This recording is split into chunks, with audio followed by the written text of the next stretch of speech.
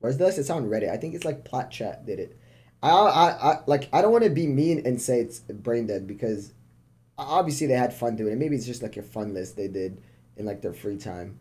But I, I think it's really not good having a top twenty list. I think you have to do top five, top ten of each role. That's the smarter way to do it. Nitro's a good example too. Nitro could be on top of that list too, at his role.